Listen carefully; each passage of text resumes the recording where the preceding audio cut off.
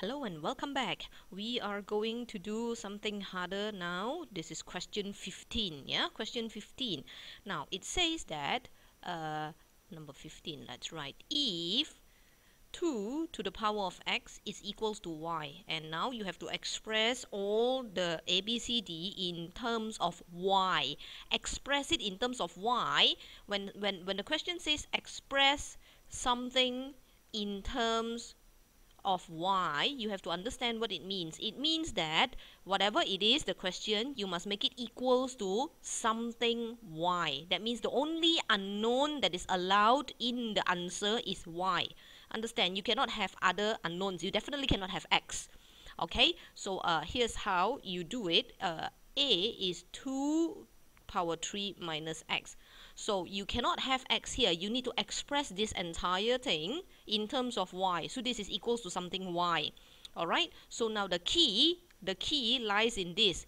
You are given 2 power x is y. So you have to make this into something with 2 power x so that you can substitute the y in. So, so can you see there's an x here? You're going to break it off. This is, this is 2 power 3. Since it is minus x means it is divided by 2 power x, right? because when the base is the same you minus the indices ma understand? So it's a reversal okay? It's a reversal so you reverse it. So it's 2 power 3 over 2 power x. Now you can straight away substitute. 2 cube is 8 and 2x is y. And that's it. You have expressed this in terms of y. 8 over y is in terms of y. Understand all right so let's do b yeah, very quickly b uh, is 4 to the power of x plus 1. Alright, now again, the key is this, you need to somehow, you need to somehow convert something inside here into 2 power x. Understand? So that you can substitute the y. So it should come from the 4x here. But the first thing you notice is this, there's an x plus 1, so you've got to break this up. Alright, you've got to break this up and uh, let's put it this way. You do the same method as here, you know, this is x plus 1, right? So it's 4 power x times 4. Alright, now some books or some teachers will put a dot.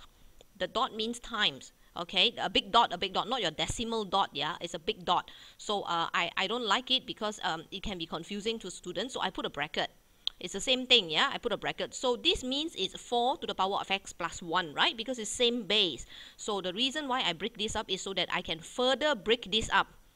Remember, I want a 2x, 2 power x. So this is 2 square so see, uh, logarithm is a bit like magic. Copy the 4. Okay. And now I want 2 power x, right? So can I exchange place? Interchange these two.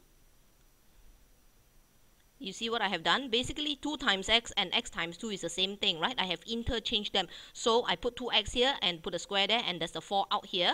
So what have I done? I I have make 2 power x so that I can substitute y into this. So this is a y, this is y, yeah, this is y, and there's a square there, and 4. So basically, 4 to the power of x plus 1 would equals to 4y square if 2 power x is equals to y. So you have successfully converted something to the power of x into something in terms of y, which is what the question wants. Okay? Alright, now if you can understand indices, it is actually quite fun because you're basically like performing magic and substituting things. Okay, uh, right. Um, you know, when I say this, students actually tell me, "Oh, Miss Ng, how can you love indices? You must be a nerd." All right. So, but this is fun, right? If you know how to do it, you can change the form. So let's uh, move on to 15C. All right, 15C. 15C is 8, and, and there's a bracket 4 to the power of x minus 2. Okay, so it is still the same. Let's write it here. 2 power x is equals to y. Yeah? Alright, so now again, remember, what is it that I want? I want to make this in terms of y. So I want to make this, if possible, I want to make this into 2 power x so that I can substitute y inside. Yeah, so the first thing that I notice, the first thing that I notice is that the 8 and the 4 can turn into base 2. So that's what I'm going to do. Okay, um, well, you can actually ignore the, ignore the 8 I'm not going to do anything to the 8. You know why? There's no x attached to 8. The x is here, so I'm going to break this up.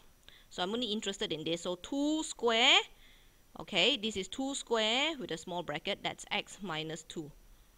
okay I hope you can see this clearly yeah see this this 4 is 2 square and this x minus 2 is this okay I, I, I copy everything as it is right now now let's do this. Open the bracket. This is 2 square and this is x minus 2 right? So this one goes here and this one goes here. All right so 8 that is 2 that is 2x minus 4 okay so now break this up.